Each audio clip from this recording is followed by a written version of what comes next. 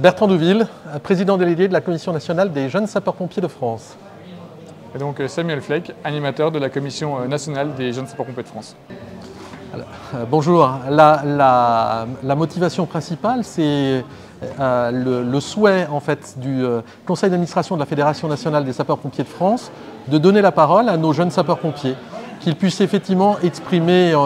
depuis le terrain en fait, le ressenti qui est le leur dans le cadre de l'accompagnement qu'on met en place et de la formation de jeunes sapeurs-pompiers sur quatre années. Alors, euh, le, Conseil national des jeunes a été euh, structuré euh, et réfléchi par la Commission nationale. Donc, on est, on est parti sur le fait d'avoir deux jeunes sapeurs-pompiers par région fédérale, donc pour avoir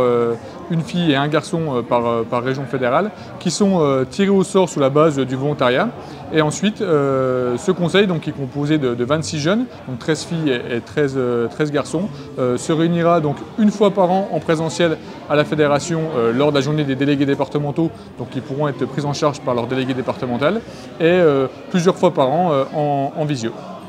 Alors les premiers travaux euh, mis en place, donc, on, les, a réunis donc, le, 24 mai dernier donc, lors de la journée des délégués départementaux où on leur a déjà fait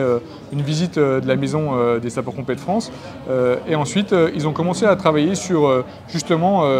quelles étaient leurs attentes par rapport à, ce Conseil des jeunes, comment on pouvait communiquer avec les jeunes et quels étaient leurs besoins en tant que, que jeunes sapeurs-pompiers. Donc ils ont eu déjà des, premiers travaux qui ont été rendus euh, à la fin de cette première journée et euh, une visio euh, a eu lieu en septembre, en début de cette rentrée, pour lancer la poursuite des, travaux. Nous avons hâte de, continuer